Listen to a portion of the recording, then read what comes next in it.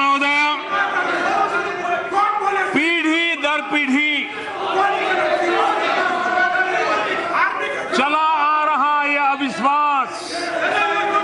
ये कांग्रेस की फितरत है। कांग्रेस ने देश में अस्थिरता फैलाने के लिए अविश्वास प्रस्ताव की संवैधानिक व्यवस्था का दुरुपयोग किया। हमने अखबार में पढ़ा कि अविश्वास प्रस्ताव की स्वीकृति के तुरंत बाद बयान दिया गया। कौन कहता है हमारे पास नंबर नहीं है? यह अहंकार देखिए। मैं इस सदन को याद कराना चाहता हूँ 1999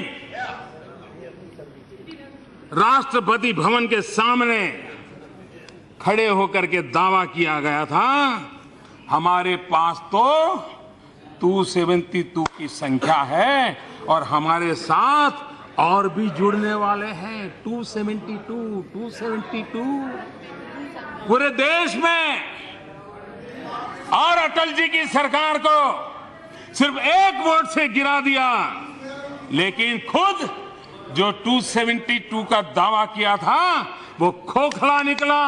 और तेरह महीनों में देश को चुनाव के अंदर जाना पड़ा। चुनाव थोपे गए देश पर। माननीय अध्यक्ष महोदय, आज फिर एक स्थिर जनादेश, उसको अस्थिर करने के लिए खेल खेले जा रहे हैं। राजनीतिक अस्थिरता के द्वारा अपनी स्वार्थ सिद्धि करना ये कांग्रेस की फितरत रही है।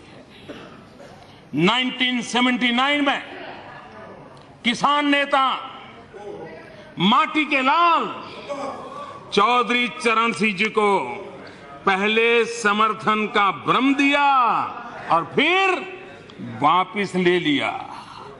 एक किसान, एक कामगार का इससे बड़ा अपमान क्या हो सकता है? चंद्रशेखर जी का भी उसी तरह अपमान मोडेस ऑपरेंडी वही था। पहले सहयोग की रस्सी फेंको और फिर धोखे से उसे वापस खींचो। यही खेल चलता रहा। यही फॉर्मूला 1997 में फिर अपनाया गया। पहले देवगौड़ा जी को पहले आदरणीय देवगौड़ा जी को अपमानित किया गया और फिर इंद्र कुमार गुलजराल जी की बारी आई। क्या देवगौड़ा जी हो? क्या मुलायम सिंह यादव हो? कौन भूल सकता है कांग्रेस ने इन लोगों के साथ क्या किया? ज़मीन से उठे अपने श्रम के लोगों के हृदय में जगह बनाने वालों के जन नेता के रूप में उभरे हुए